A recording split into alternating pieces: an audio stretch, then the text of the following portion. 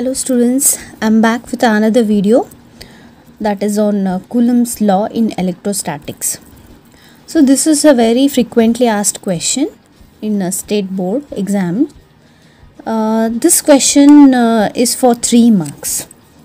Okay, so this is very important and this question is very very important for 3 marks. So Coulomb he just extracted the ideas of uh, Newton's law of gravitation and with that he gave this statement.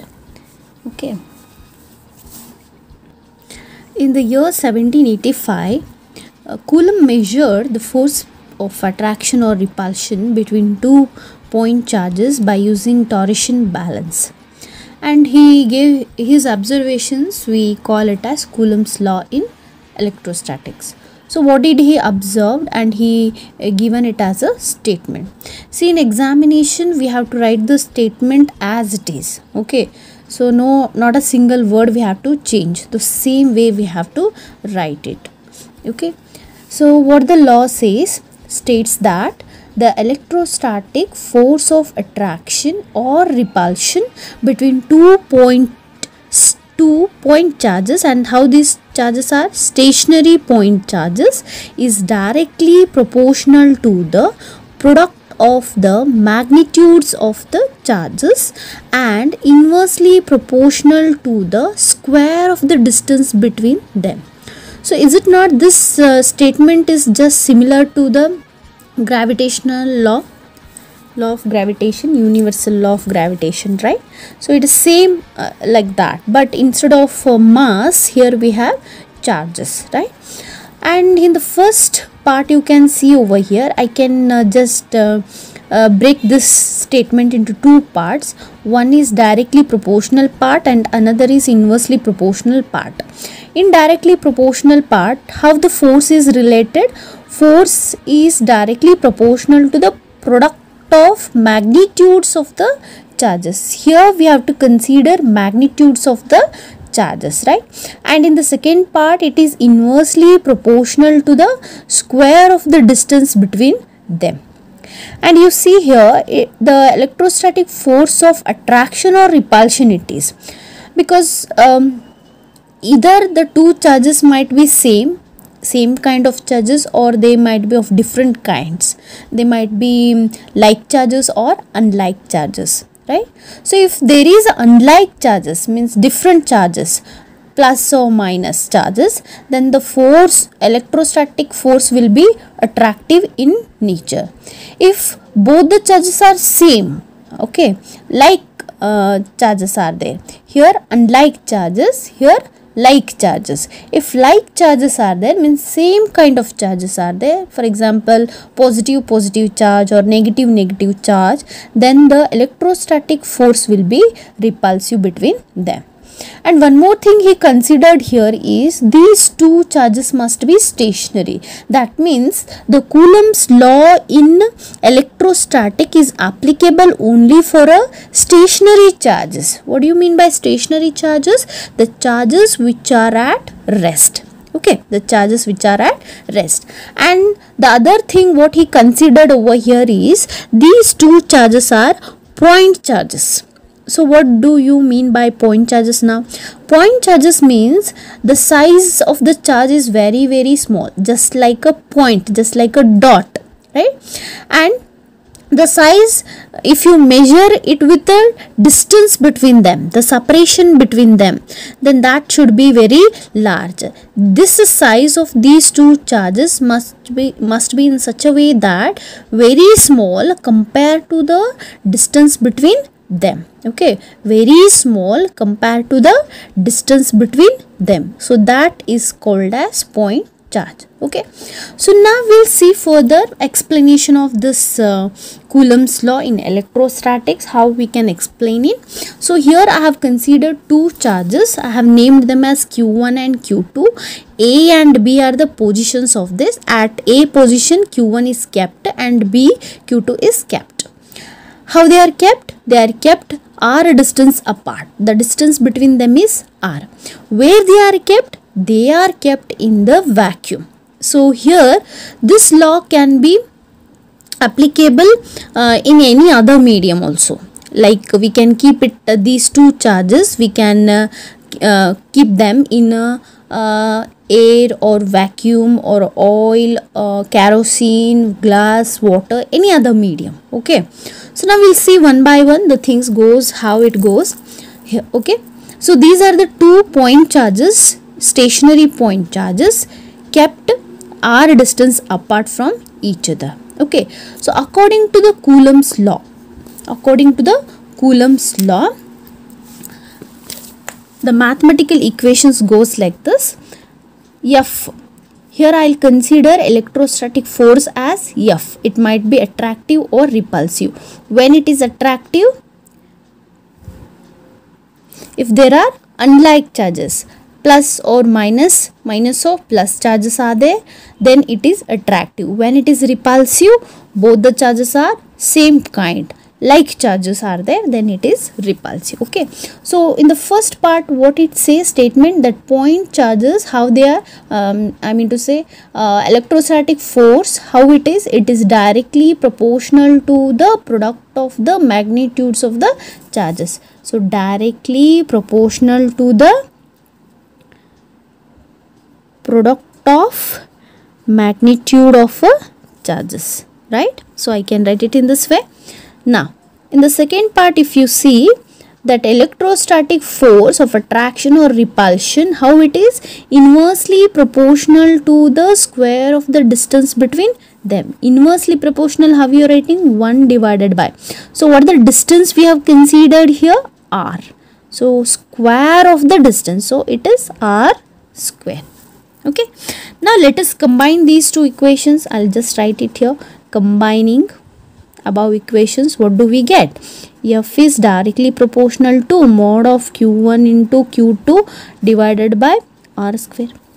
So usually in physics what do we do? That we are removing the proportionality symbol by multiplying a constant.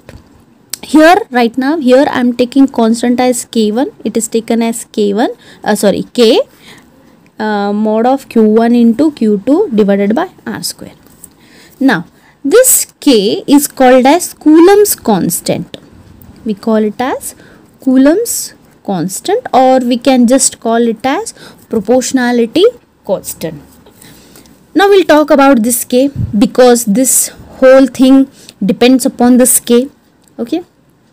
Now K it depends upon it depends upon the medium or we can say the material okay depends upon the medium in which in which charges are kept. Charges are kept or present. Okay. I said you earlier that um, this electrostatic force of attraction or repulsion is depending upon the medium. The force changes as the medium changes okay.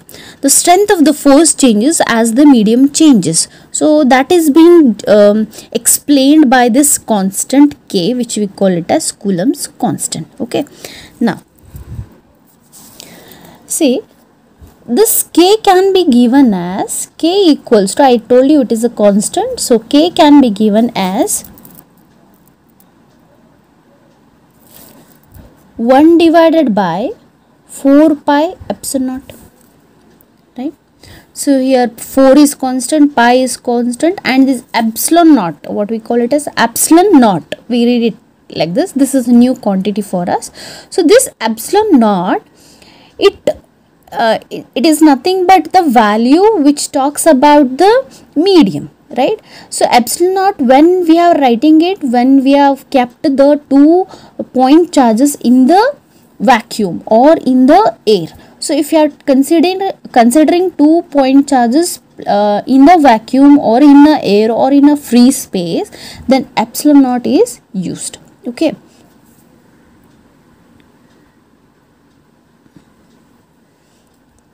Right. Um, so what we call it as this epsilon naught as it's nothing but absolute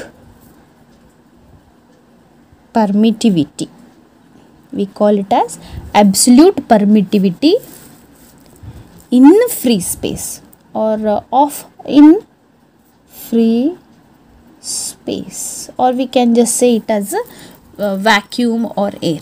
Okay? Or I'll just write it or vacuum or air. So this is the symbol what we are using here. So now what do you mean by absolute permittivity? So the word permittivity means asking permission. Something is asking permission. Okay. So if i um, just i'll explain with the uh, this as a light. Okay. See light in vacuum travels faster right? So that means uh, there is uh, uh no hurdles or nothing like that. So easily the light get passed through there. Okay. So the permission for light to pass through there is uh, very large I can say. Very large right? If suppose in the air we are placing a big uh, glass slab and we are allowing the light to pass through that. Then now what will be the uh, flow of light? Uh, how light travels now isn't it? Right? You are understanding the two examples what i have given right now.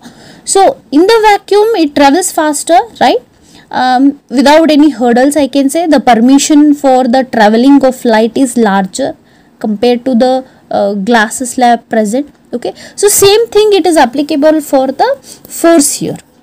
Okay? Force also in this case okay in this uh, uh, electric charges and fields chapter the permittivity meaning is this way that force is asking permission to that particular medium. So in free space it is different. In um, vacuum uh, in uh, sorry in oil or kerosene or any other medium like water glass slab anything it is different okay. So this is about absolute permittivity. So this absolute permittivity has a value okay its value is 8.85 into 10 raised to minus 12 okay 8.854 nu ತಗೊಳ್ತಾರೆ 4 also they'll take into 10 raised to minus 12 this epsilon permittivity has a unit so for your reference i just uh, derive its unit here so i'll take another color pen so for your reference i'm doing it here. So what is our equation what we got there? F equals to k times of uh, uh, q1 q2 i just i'll not use here mod i'll just write it r square right? So what is k value? K value is nothing but 1 by 4 pi epsilon naught. Can i write here 1 by 4 pi epsilon naught into q1 q2 divided by r square? Isn't right? Now so what is the unit for force here? Newton. This is a constant, leave it as it is, uh, same 1 by 4 pi epsilon naught. And what are, what are the units of these two charges now? Charges unit is coulomb, coulomb into coulomb. And here R is what distance. So distance we measure it in meter here. So it is square, hence meter square. So send this epsilon because we want uh, epsilon naught absolute permittivity uh, unit. So send this epsilon naught here and send Newton here. So we just mark it over here. Is it right? So epsilon naught is equals to what do we get? This is a constant, so no unit, nothing. So leave it. So see here, coulomb, coulomb, coulomb square by meter square into this Newton comes over here. So into Newton. Or just I can write it as coulomb square meter raised to minus 2 m raised to minus 2 Newton raised to minus 2 minus 1 right? So what will be the unit of epsilon naught now? Coulomb square m raised to minus 2 and n raised to minus 1 I hope you understood the unit of uh, absolute permittivity. Now we will calculate the value of k. So value of value of k right so what is the value of k now? So k equals to 4. What is the value of pi? 1 point, no, sorry 3.142 into epsilon naught value we know it as 8.854 into 10 raised to minus 12.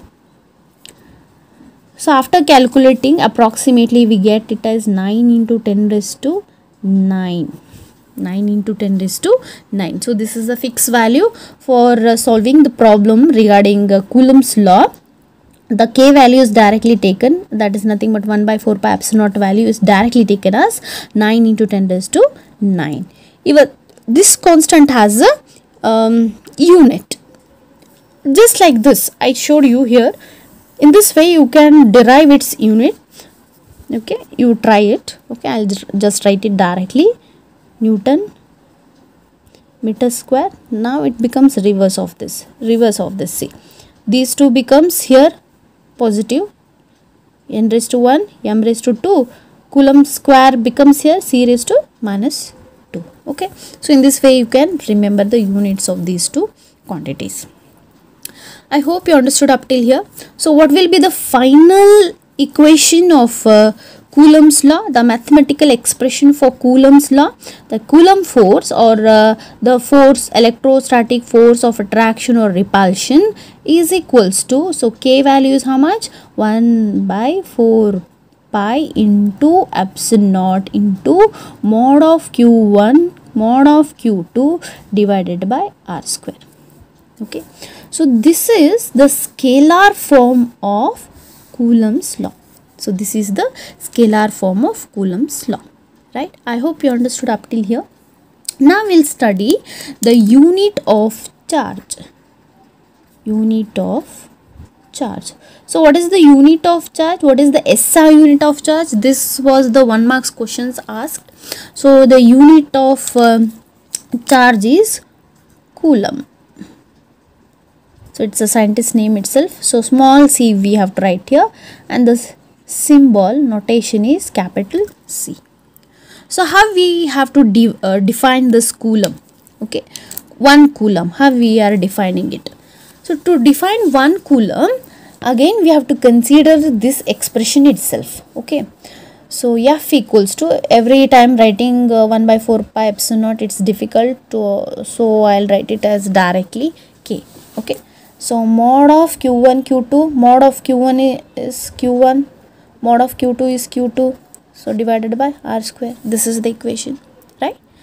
So now we'll assume suppose that suppose that q1 and q2 both are similar charges. They are equal charges uh, equal in magnitude as well as equal in their charges. Both might be either positive positive or negative negative. So i'll just take it as q so here what we are doing, we are, we are considering equal and similar charges, right? Equal and similar charges.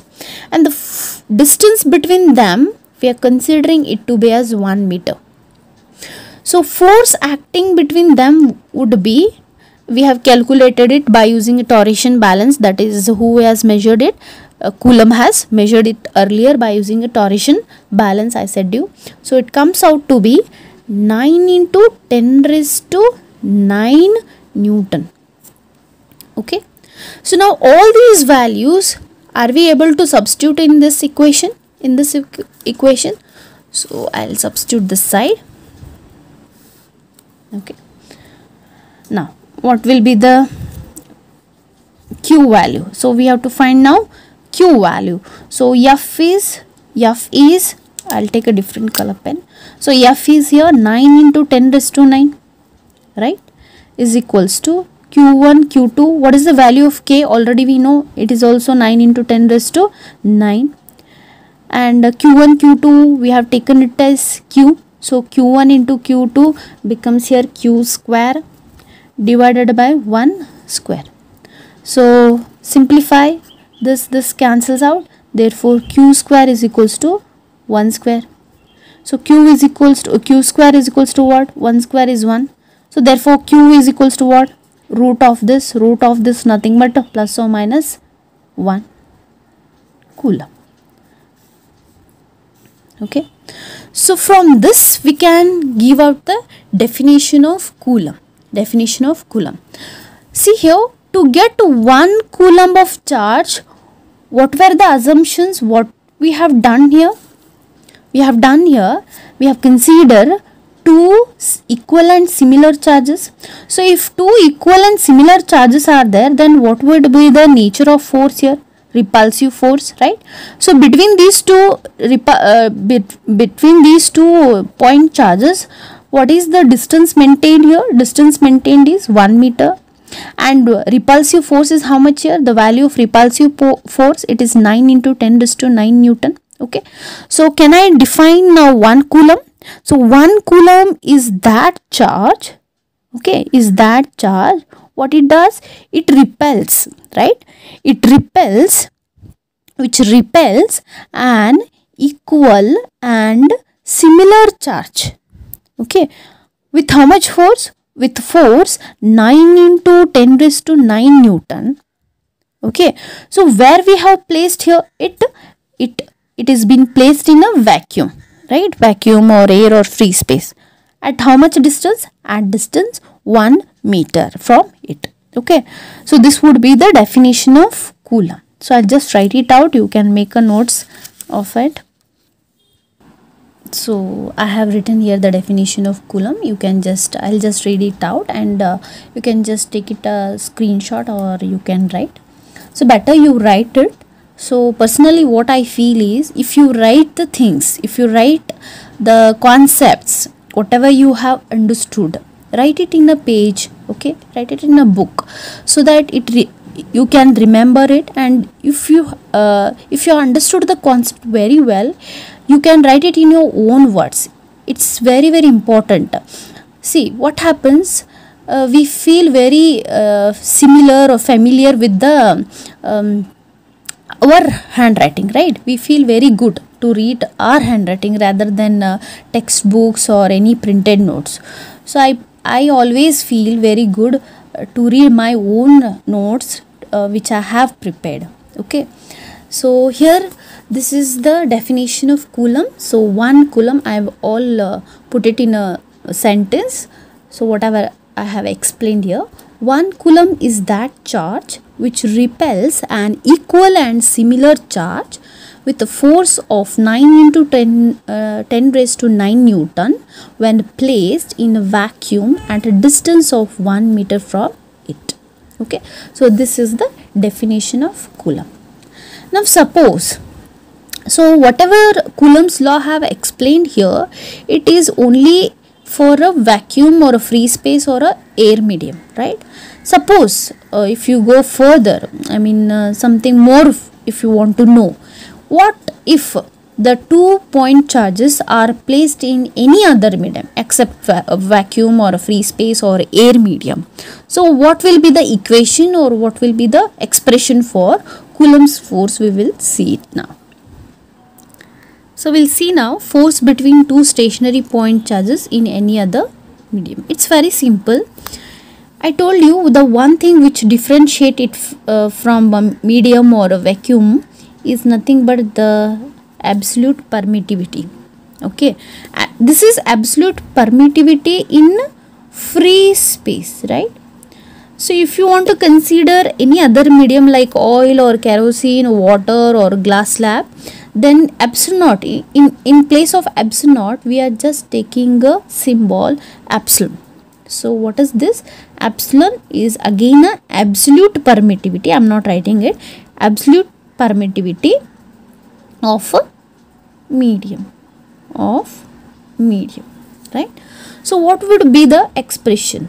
Okay so I'll just mention it as FM FM means force in medium okay force in medium so what would be the expression so 1 upon 4 pi. So in place of epsilon what we have to write here? Epsilon right? And the rest is same mod of q1 mod of q2 divided by r square. Okay. So this is the expression. Now if you move further so what is the uh, force in case of vacuum? 1 by 4 pi epsilon naught mod of q1 mod of q2 divided by r square. This is that equation. Now let us divide these two equations. I'll divide F by Fm I am doing. Okay. Vacuum divided by medium. So after dividing these, see here, the I'm not uh, doing all the steps because it takes much more time and the video becomes very lengthy and uh, you might feel very boring to listen. So um, I try to make the video very small so that uh, within a very less time you can uh, get the concept clearly. So cancel out these two uh, when you divide this by this. So these same quantities cancel out. So what is left out here? Here 1 by epsilon divided by 1 by epsilon is left out. So epsilon flips over here. So what do we get? Epsilon divided by epsilon. So here I write it f by fm is equals to epsilon by epsilon right? So this is in vacuum this is in medium. This is in medium this is in vacuum. Okay so reverse of that you can just remember it. So this quantity we call it as relative permittivity. Relative permittivity. Means something is related with something here. Means the force the two forces are related with each other with the vacuum as well as with the medium right? That means what does it mean? So in the vacuum we have placed uh, in the vacuum we have placed a medium. Means there is a air there is a air medium. In the air medium we have placed a glass slab. Okay? In that glass slab we have placed a two point charges separated by certain distance once again in the air medium or in the free space we have kept water medium. Okay. Water medium in that water we have placed two point charges separated by certain distance. So this is the meaning of relative permittivity. So relative permittivity is denoted by symbol again epsilon itself. Here subscription is given as r. So relative permeability permeability right so how to define now relative permeability? So you can just by seeing this we can um, define it. So it's a ratio there, right? So relative permittivity is also known as dielectric constant. So regarding dielectric constant, dielectric strength, all these things in detail we are studying in chapter number 2. Okay. Right now you just uh, remember there is a, a quantity called as relative permittivity. So um, to make it familiar so i have taken this concept over here. So what is relative permittivity by the way? Uh, of any medium it can be defined as force between it's a ratio of what? It's a ratio of the force between the two point charges placed at a certain distance where we have kept it first in the me uh, in the air to the force between the two point charges separated by a distance in the medium. You can say it like this. So what is that? It's a ratio of force between the two point charges in a vacuum or air to the force between uh, the two point charges kept in the medium. Okay? So this is called as relative permeability and the symbol is epsilon r okay? So usually you will get a problem on this um, not for your uh, state board uh, for your NEET IIT or uh, JEE okay? CET for these examinations on this uh, basic uh, concept on this basic concept uh, one such problems are asked okay? So i hope you understood this concept very clearly. Now so with this uh, final uh, result of relative permittivity, uh, we can, what we can do, we can get uh, many uh, such equations here and there we can do and epsilon, epsilon value or epsilon value we can calculate, right? So epsilon value, I can write it in this way, epsilon divided by epsilon naught is equals to epsilon r